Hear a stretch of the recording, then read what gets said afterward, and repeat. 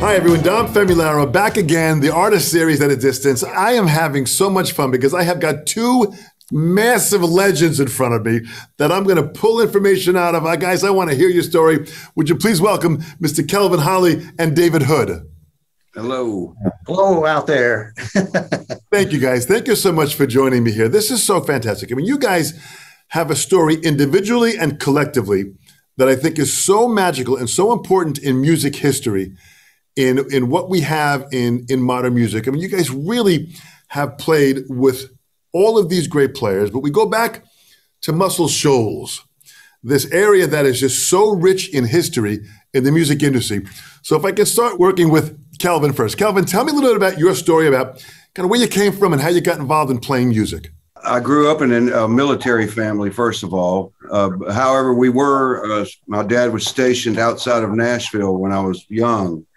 And we were stationed there for a long time. A little town called Smyrna, Murfreesboro, just south of Nashville. But then when I was like, uh, I guess 10 years old, of course, I saw the Beatles on Ed Sullivan and I immediately knew what I was going to do for the rest of my life. I already knew a few chords on the guitar. But anyway, uh, dad got stationed to Izmir, Turkey. So we immediately, we lived in Izmir, Turkey for two years. That's where I really started I'd go to the post exchange and buy all the new releases, you know, the Beatles, Hendrix, just sit there with the record player moving the arm back and forth, you know, just listening, to see if I could imitate the lick, you know. That's where it all started for me. So, Kelvin, what was it about? Because the Beatles in that February 9th, 1964 performance on the Ed Sullivan Show, when that hit, it really spawned hundreds of thousands of musicians, including myself. Oh, I mean, everybody uh, the next day of school was ready to start a band. Hey, yeah. man, you want to start a band? Like, yeah, I got my dad's got a garage, you know, and yeah, was, that's where it all started. And it was just, you know, the camaraderie. You became best friends with these people, you know, and you shared common interests, you know. But I remember hearing John Lennon talk about uh, seeing Elvis for the first time in film, and and we, they were sitting there going, that's a good job. you know, so it was kind of the same the same thing. You're like, wow, they're playing their own songs. They look great. They got the suits on. That you know, they write their own stuff. What a magical time for sure! Absolutely incredible, David. What sparked you? What got you got involved in in playing in playing you know bass and having your involvement in music? I started going to see bands. I guess when I was in early high school, 15 years old. I saw my first electric bass when I was about 15 years old. I, I've been watching the band and I noticed that one of the guitars was bigger than the other one. And I didn't know there was a such thing as an electric bass. And uh, I started watching. I thought, boom, boom, boom, what's making that noise? And I would watch and realize that there was one of them bigger and had four knobs on it. And uh, I, I didn't necessarily want to be a bass player, but uh, all the guitar players I knew were a whole lot better than me. So I thought, well, maybe I will get a bass. So I, I had a friend whose father fixed TVs and radios in their kitchen at night. And he printed up some stationery, and we ordered straight from Fender a Fender Jazzmaster and a Fender Jazz bass. And I had the first jazz bass in town. And uh, uh, I went from there. You know, I, started learning songs and I picked it up pretty quickly. I started playing bass at 18, and by 23, I played on some gold records. So, how, how did you learn? I mean, how did you learn the instrument to understand theory and notes? Where'd that all come from? I, I, I listened to a lot of music, and uh, I played the trombone in the school band before the, the, the bass and so I was a little familiar with bass clef, and but I, I just listened a lot. Uh, I, I, I, picked it up pretty quickly. Really, it was the like in the head. I got it really quickly. In my hands, it took a little more time. so was it was it listening to the radio? Were it were there albums? You know, were you purchasing albums? And and also watching other bands. I I learned. Uh, about Ray Charles and Jimmy Reed and Chuck Berry from watching other bands. And then I would, after I heard them play it, I'd go find the record of these people and I'd learn it from the records. So you're pulling all this material, you're learning your, your instrument. Kelvin, what happened with your with some of the first bands you started playing with? We broke up.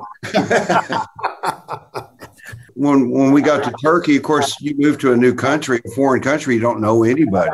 Yeah. And then your first day at school, you know, you usually start meeting people, and eventually you meet like-minded people. Yeah. Hey, let's start a band. You know, okay, great. And then you start playing. That's to me is how you really start how to learn. You know, practicing in your bedroom is one thing, but playing with other Playing people with other people is the big. is is is like go, it's better than going to school in a, a lot of ways, you know. But uh, that's that's pretty much how it started. And then, of course, we left Turkey, and then we moved to my mom's hometown of Munich, Germany. Okay, and then I didn't know anybody again, so I had to start all over, you know. And then I, we repeated it when we moved to Alabama, but way back 1970. Meet like-minded people, start a band. I had a, at the time got an offer with at the time was like the most popular band in Montgomery, Alabama. You know, and I had every intention of trying to go to college and everything. I just chucked it all out the window and I left home on my 18th birthday and got in the back of a van. You know, so What what courage? What what do you think drove? yeah, what? yeah, it's like Spartacus. yeah, what was that? I mean, you, you, you know, I mean, it really is something had to fuel you to say, "I'm doing this for the rest." Well, it was a passion for playing. I mean, I just it was it just felt natural. It felt like a part of me. I was just following the muse, you know. So, Yeah, in, in my case, my father had a tire store and he wanted me to follow into business with him. And I did. I worked with him from age 15 or so till I quit when I went music full time. Uh, I just I'm I had more fun playing music than I did working at the tire store, and uh, and I made better money right off. The, I was the boss's son, and I could make more money in a day uh, playing music than I could in a week working at the tire store. Well, they really were different times years ago in, in what was offered and how music was played and how much demand there was for live music. Yeah, yeah. yeah. And it was it, live music was a lot of fun, but when I got in the studio, it was really hit. When I first time I heard myself on the radio, I said, "Man, that, now that's what I want to do. You get you do that and get paid for it too." yeah. Let's let's talk about that. Where you had some professional gigs before before you got into the recording studio, so you were now playing. Were you touring? No, it was frat parties, weekend gigs, and things for me, just on the weekends and working at the tire store during the week. But I started doing some recording sessions with Rick Hall and Quinn Ivy, uh, uh, Percy Sledge, at a at Fame and at Quinn Ivy's studio. And in a day, I could make more money than I, you know, a whole week in in, in tire store. And so after a while, I had to go tell my father that I'm not going to go into the business with you. It broke his heart. He said, "Son, you're going to be playing with drug addicts and and, and everything. You know, it's just he just Yeah, the scum of the earth." And he was right. But I, I've, I've loved every minute of it. He was right. so, Kelvin, how did it work for you? You you start playing. You you come back to the states and you're meeting other musicians, and again, those like-minded musicians. Right. Meeting with them, you're getting together. You're putting bands together, and you're playing. Right. That that's exactly right. I mean, it was like I got in the van and I stayed in there for like 20 years. I just I played every place in America with who whatever band at the time. Some of them I was with for a long time, but we were doing the circuit as they called it back then, you know. You could go from town to town, state to state. You could go play two, three nights a week, stay there for a week, go somewhere else to follow. And that's what I did, you know. And I eventually got tired of it, you know. So So, when did the recording industry start to step into your world? after I did the road forever, I ended up in a band called the Decoys. It was founded by Johnny Sandlin, who was the producer at Capricorn Records in Macon, Georgia. He produced the Allman Brothers and whoever else was on Capricorn at the time. You know, I, I knew who he was. I had no idea he was from Alabama. And I just got a call from him one day, said he had a band called the Decoys. Would I be interested in coming to check them out? So I went and jammed with him, started playing with him, and I'm still. Everybody, a lot of people have passed on, uh, but we still have the band. I was even a decoy. David was a long time. He, yeah, he hadn't played live since the Traffic when they were with Traffic. Yeah. And they would come see us play or whatever. But we finally managed to get him and Roger up to play with us. And David's been with us pretty much ever since, yeah. you know. That was almost 30 years ago or 25. Well, it seemed like it was like about 1991 around that time. Somewhere, well, that's when I joined the band. I joined the Decoys in but it wasn't long after. It was early '90s. But uh, at one time, we had David and Roger playing with us. That was a hell of a rhythm section. Uh, you well, know, Roger is just a as a drummer, you know, following Roger's career and just being able to be influenced by his playing. I mean, what a deep groove and just so many great things that Roger has done also. Yeah, unfortunately, he's not doing well physically, health wise. Yeah. And I don't know how much longer we'll have him now. I talk to him regularly but uh, Roger was he he played he, he was playing on the, my first recording session, which was May 15th, 1966. That I first time I made Union Scale, and uh, that was Percy Sledge, Warm and Tender Love. And after that, it, that was a gold record. And after that, my phone started ringing, and so I started having to learn how to play. Other than cover stuff, you know, I've always before cover stuff. But, after that session, I started ha- having to learn how to play what you play on a recording session. Uh, you know, I had to learn what choruses and verses were. Talk about that. In the recording studio, you get there in the beginning stages, and the recording industry has dramatically changed from that time. Yeah. So at that time, what was it like? You get in the studio, you're all in the same room together, basically, and you're discussing the rundown of the tune. Yeah, and we early on, I, I, was fortunate enough to work with Roger and first Spooner Oldham, then uh, Barry Beckett and Jimmy Johnson and countless guitar players, uh, Eddie Hinton and Duane Allman, some of those guys. But we would uh, we we learned how to make chord charts, number charts, and we got really good at it. So we could do we could cut song an hour, you know, a, a basic track really good every hour and uh, and so we were we were bargaining. First, we started charging. Uh, we played. Uh, we did union scale, but we worked twice as long for the three-hour session day uh, to get people to come work with us. And pretty soon, we were they were selling so many records that we were able to just go to the record three-hour sessions. And after that, I started doing double scale stuff. So, at a young age, you're starting to record. You're getting a taste for this industry. Kelvin, what was it like for you when you started recording and hearing yourself back on on the recordings? That was scary. I mean, you know, I, I don't know. I'm just one of those that I feel like anytime I play something and it ends up on the record, I, I'm always going, man, I shouldn't have played that. I could have done, I could have played a better part or whatever, you know. But it, it was great, and my first studio experience really was when I first moved here. They used to come see us. Jimmy Johnson came one night.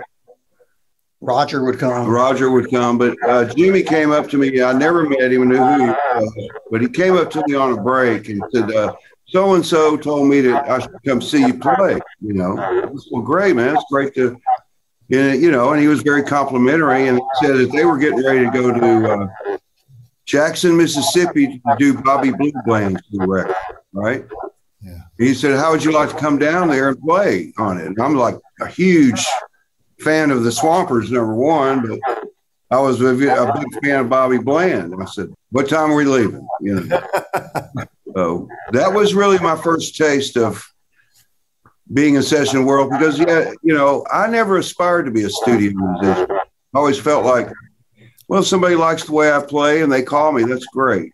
It's amazing. Did you organize yourselves mapping things out, or was this just stuff coming at you from all different angles? Our rhythm section, we were pretty organized, we were pretty straight, no drinking or any kind of stuff, crazy stuff on the session. And uh, we, we, we, since it was the same group of guys most of the time, we said, look, we, and we bought a studio. That was the deal. We bought our own studio, and so we knew, with our name on the on the contract, we knew we couldn't mess up. So we said, "All right, nothing comes before this. Not wives, not girlfriends, not vacations, not anything. This is number one." And uh, and we really were very serious about our recording. And you know, we worked we worked together so good as a team with the chord charts and stuff. We were, we were unbeatable for a while. Listen, you're still unbeatable. this is absolute, this is still continuing at such a high level of what you're doing. So you're recording, all of a sudden now you're starting to hear yourself back on these recordings. You guys, this was like a turnstile. There were so many artists that you guys were working with at the time. This is, must have been an amazing realization of like, we're really doing this. Yeah, it was a magic time. It really yeah. was. Let's talk about Aretha Franklin memories that you have in working with Aretha. I mean, th- this was a, an incredible talent. You know, how was she to work with? Was it a was it a, a, you know a creative process? Were you were you nervous? What what was it like? Yeah, well, my first recording session with her, I was playing trombone. I was part of the horn section, and uh, Tommy Cogbill was the bass player. Great bass player, Tommy. And uh, I was so happy to be on the session. But the session during that session, Rick Hall, the producer, and Jerry Wexler, they got into a big disagreement over one of the other musicians. And so Aretha leaves. And so when Aretha leaves, they take the recording back to New York and they use New York horn players. So I don't get to go the first after that. But I played on her first hit record, played trombone on it. I never loved a man. I never and, loved a man. That was the first one. You're on trombone, and yeah. the horn section that was there. You know, I mean, with the with the charts? Did you have to like sight read stuff? Were you able to no, work no, oh, stuff? It was, it was, head arrangements. We just made it up as we went. And it's the same with the rhythm section. They head arrangements, but everybody was dis- disciplined and together. It wasn't a wild bunch like kids rock and roll nowadays. we were very serious. We knew people in Nashville and, and what they were doing. Trying to be like that. Well, I'd like to have you both tap upon that about a head arrangement. You're really just depending on your ears and you're just playing what you feel at that moment. Yeah. Uh, there, there's usually some guide. Either there's a demo from the songwriter or something. Uh, and the producers I worked with were great Jerry Wexler, Tom Dowd, uh, really great. And Rick was not a bad producer himself, but so there's some guide, but we we sort of knew what to do. I don't know why. We just did. Well, where do you think that comes from? I mean, you know, you, you guys, you know, were, were, you were you taking lessons at all? Were you learning no. the instrument? No. no we, we, were listening to the records, listening to people's records. It's just by feel. It's just, you know, how do you describe feel? I don't know. But, you know, I know a lot of sessions David and I have been on together. You'll hear the demo of the song and you, you got your chart, you're kind of looking at it. And then if, you know, unless they have any specific direction, they kind of rely on you. If you want to go back to a lot of records, I know there's a producer on all these big hits, but I would venture to say a large percentage of those records were produced by the musicians. That's hey, just osmosis at its best. It was just coming out of the air and just striking you guys big time. Way. And a lot of times they sometimes the artist is like, wow, how'd you guys do that? You know, after one or two takes, you know. And it helps to know the guys you're playing with too sometimes. So all those years of touring and playing, is that you know that and then listening to music that pretty much was your university. Yeah i didn't really tour that much. I did. Uh, he did. But i didn't I, I went straight in the studio and started having success in the studio so there was no reason for me to tour. I'm the road guy. He's the studio guy. Well Kelvin let's talk about the road. You went out. Who was the first act you went out with on the road well, I mean, you know, like I said, I was in the back of a van for 20 years, so that was the road. But uh, I guess uh, things started changing for me when I started playing with the Decoys and working with Johnny Sandlin. Yeah. Uh, he started hiring me for a lot of his sessions. He, you know, he was a record producer, so I played on well, Dave did too. Uh, all the people he was working with, you know, Gregg Allman being one of them. We did an album with Gregg and uh, Jimmy Hall, Jimmy Hall uh, several others. Bonnie Bramlett. Bonnie, Bonnie Bramlett. And then, then we started playing over here a lot, and then that's where I met this guy. And then I got a call from Little Richard because some of his guys live here in town. His band asked me if I could come fly to Los Angeles the next morning. But anyway, uh, yeah, I got to the airport and flew to Los Angeles. Went to the Riot House there on Sunset. Went up to his room and we, me and him, hung out for about an hour, and I played a show with with him that night with the Temptations. And I stayed with him almost twenty years.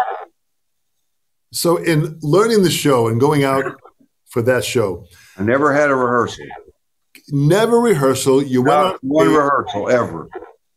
What? How'd that work so great? Where, Well, where'd you you- I just went out there. All I knew was everything was C, F, or G as far as the key. And it was just basically all boogie woogie. But you know, you know his, you know Richard's stuff. So I mean, there were some signature licks, but you just hear it. You know, he's larger than life. So I mean, it was a great run. You know.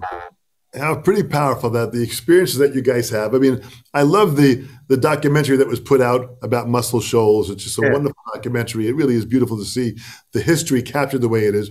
David, you're in the studio. You've got these great acts. You, know, you leave trombone. You're playing bass now, and you're playing these charts that you're just kind of like feeling what's happening as it's going along. You're kind of like really, kind of to a certain degree, just kind of walking on eggshells. You're not exactly sure what's going to happen, right? Right, right. And you know, the, the biggest fear was the producer say, uh, "David, come in here, please, and fire me." But luckily, that didn't happen. And I, apparently, I played the right thing. And, and a lot of these sessions are trial and error. You know, you try something, it doesn't work, you try something else. It's no, no big deal. So what was it like? I mean, you know, when I look at the list, listen, guys, both of you guys, when I look at the list here of artists, Aretha Franklin, Wilson Pickett, Otis Redding, James Brown, Clarence Carter, Etta James, David Percy Sledge, Bob Seger, Steve Winwood, Rod Stewart, Paul Simon, Cat Stevens, uh, you know, Duane Allman, Linda Ronstadt, Jimmy Buffett, Willie Nelson. I mean, Boz Scaggs, Levon Helm. What was it like, David, working with Levon Helm? Oh, he's great. I loved Levon. Um, He, he and I were pretty close. I played on his at his 60th, 60th birthday, I guess, uh, right before he passed. And uh, he was by then he'd had cancer, throat cancer, and everything. And he, he, still, the, when he played, it was like he was 20 years old again. I mean, what a great player. Uh, Levon and I were pretty close. I got to work with Levon one time on a comedian, uh, Tim Wilson. And it was at the uh, other Muscle Shoals down on the river. Uh, my wife owns now. Uh, Levon had can- cancer and couldn't talk, but I remember hearing him in the headphones counting it off. One, two, you know. But anyway, we took a break and we're sitting in a little, this little dining area down there, and he looked at me and said, "Let's start a band." I was like, yeah, let's go. But yeah, he was great. I felt like I knew him for a long time. man. Boy, nobody played drums and sang as well That's right. that way. To have that skill, Oh, and the fact he was also a great actor, that's a whole other story about Levon for sure. He was just always Levon, it seemed like, you know, he just only had that one persona, you know. when I look at the list for yourself, Kelvin, you know, Little Richard, Chuck Berry, Neil Young, Gregg Allman, Percy Sledge, Clarence Carter, Jerry Lee Lewis, Wilson Pickett, Pickett, John Fogerty, the Marshall Tucker Band, the Oak Ridge Boys. I mean, uh, Ray Cyrus, Billy Ray Cyrus. I mean, it, it- there's such a wide variety of of music that you guys must have listened to as kids to take this all in to somewhat be prepared to handle the wide variety of artists you were recording with. Yeah, well, that, that helps. That just goes back to playing in bands and playing cover songs, you know, uh, because you, you're forced to learn that stuff. So you kind of, your palette's kind of wide range as far as There's a lot of faking it too. There was a lot of faking it too. I mean, I'm not a country guitar player, but I'm on some country albums. I can make my guitar sound kind of country if I need to, you know. David, it says here you also produce songs for Willie Nelson, Cher, and some others. Yeah, that was more of a co-production deal. Uh, the, the rhythm section would co-produce with different people. Bob Seger, for instance. I still get checks from Bob, thank the Lord.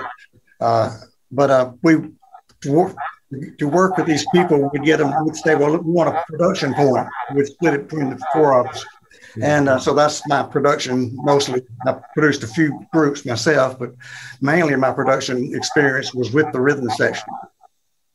So was it having done all these recordings, you started to understand more of the industry as far as arrangements, as far as maybe even recording techniques? I mean, the, the amount of experience that you guys were acquiring was was. Well, we we owned our when we when we bought our own studio, we had to learn a lot of things. And, uh, Jimmy Johnson was a, a, great sound engineer as well as a great rhythm and guitar player, and so Jimmy led led us into that. And Jimmy was the one who told us, "Hey, man, we get it, we need to get a publishing company."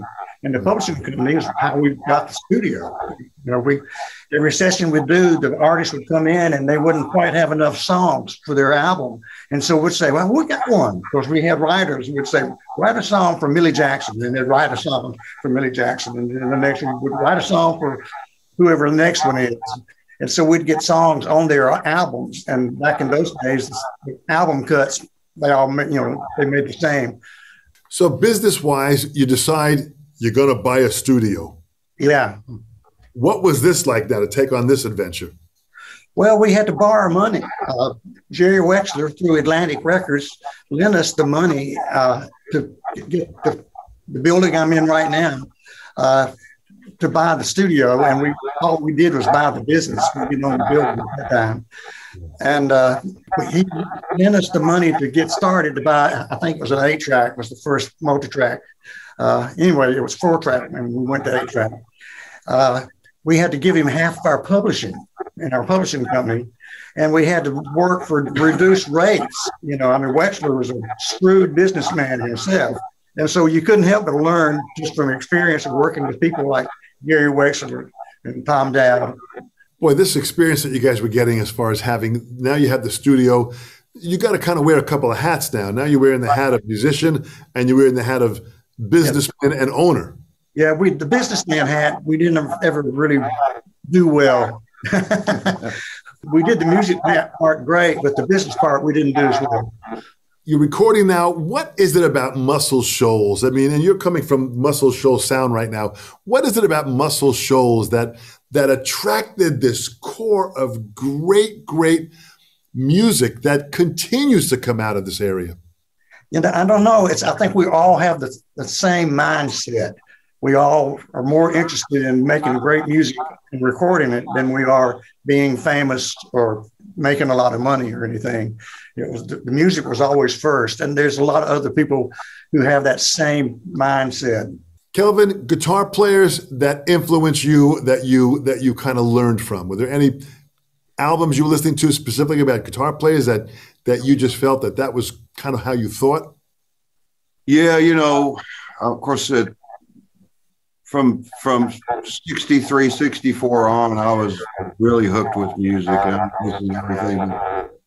The one that really got my goat was uh, probably that John Mayall Blues Breakers album with with Clapton. Yeah. You know, and at the time, I, I didn't know anything about the blues. I really didn't. I mean, uh, but I would always look on the record to see who who wrote it, and it would say, you know, McKinley Morganfield or Chester Burnett, or and I still didn't know. But when years later, I realized it was you know Muddy Waters and Howlin' Wolf, you know, and that the English were just taking the blues and doing their own thing with it. So with that being said, I'd have to credit the Brits for bringing the blues back to America, you know. well, they sure did. And, and, the whole 60s British invasion was them delivering our music back to us. Absolutely. Absolutely. You know, I mean, you, you, you talk about Little Richard. I mean, I've seen interviews with all those guys, and the Little Richard's at the top of their list, you know. So, as an influence, you know, it's usually Chuck, Richard, and Elvis are the big yeah. three. Yeah, yeah.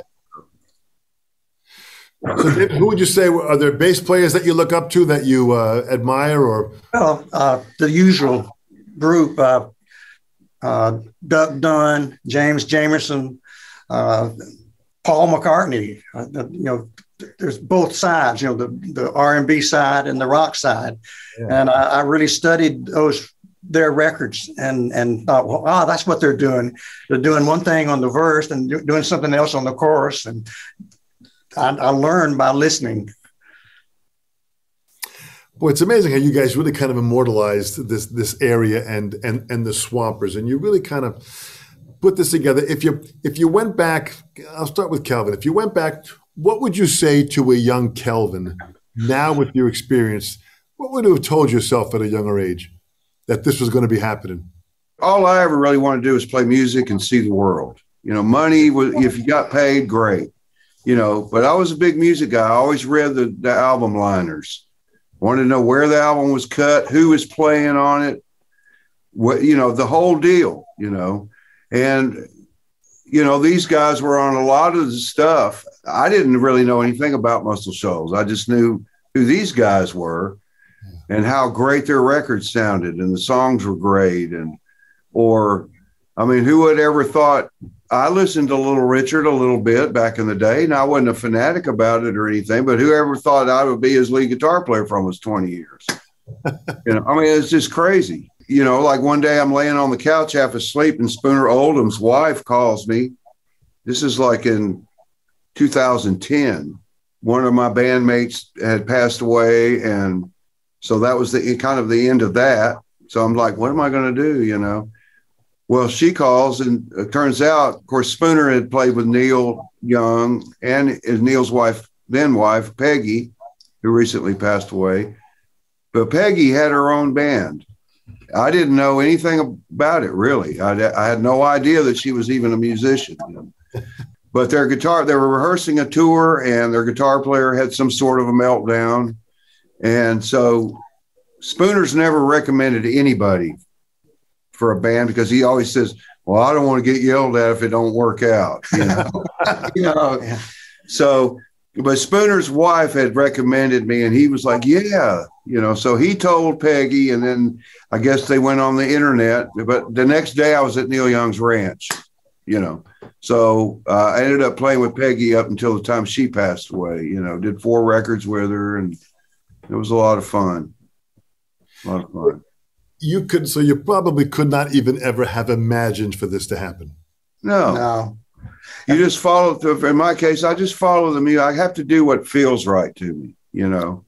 And uh, as far as giving advice to young musicians, my son is a musician. He's in a group called the Drive By Truckers, and they I tried my best to keep him from doing that. My ex father in law passed away and left him money to go to college with.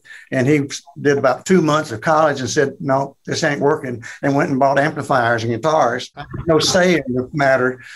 Unbelievable. So when you think about it, you guys really have opened up some doors and opportunities for people to think about, boy, you can really live your passion if you believe it enough. Yeah. I think the de- determination is is a key factor you know, everybody has insecurities and, you know, uh, well, he's better than me, or his song's better than mine, or he looks better than me, or, you know, but yeah, determination is a big thing, you know.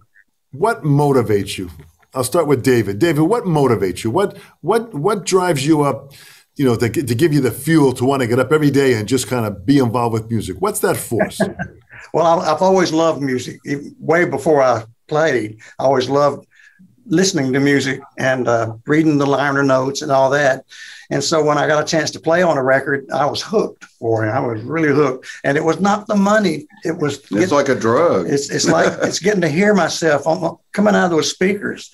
And uh, that I thought I've got to do more of this. And I, each time I hear myself, I think, well, I can do better. Right. I can get, make it sound better if I do such and such. And I, I learn through experience. I don't really know what I tell a young musician because you've got to want it so badly yeah. that nothing else matters. Right.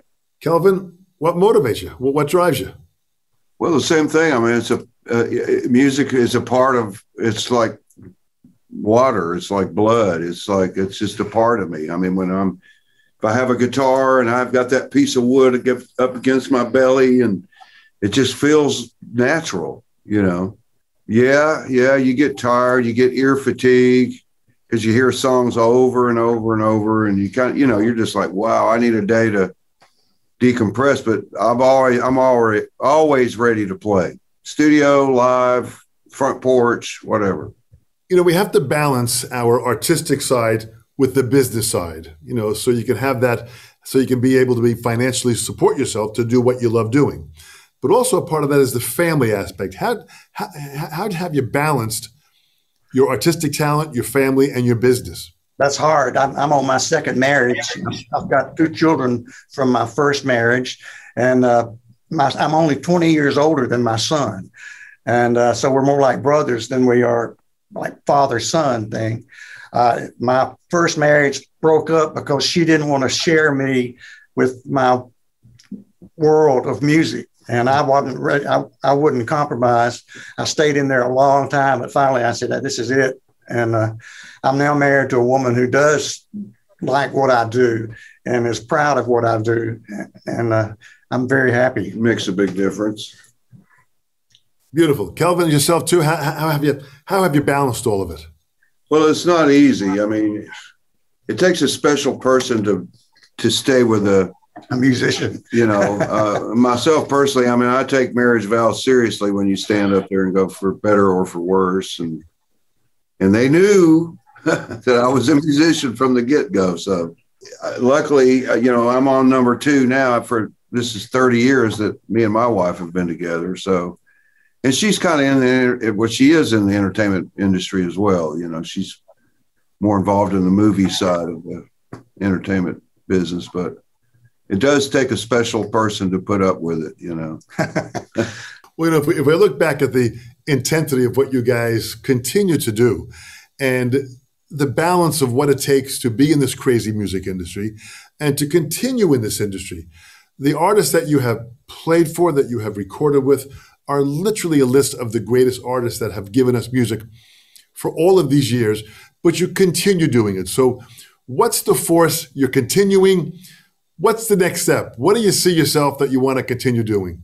You know, I want to I want to just keep doing the same thing I've been doing until I just fall out on the stage one day and they can do whatever they want after that. But I mean, you look at uh, Richard, little Richard, uh, Chuck Berry. Chuck Berry was, you know, 88, 89 years old. It's just the passion for playing, you know. Well, I think that sums it up right there. The passion for playing. You gentlemen have totally. Nothing's better than when you're playing and, and seeing some audience members really being touched by what you're doing, you know, or whatever. You know, it's making them happy. That's if even if it's just one person. For me, it was a good night, you know. well, the passion for playing totally is something which I think you both embody so well. And I think something that you do, which is so beautiful, is that you inspire people to aspire. Through your music and through your effort, you are inspiring people to then take their lives and lift it because of the great music you've delivered and the way you guys have led your lives by continuing to live your passion every day.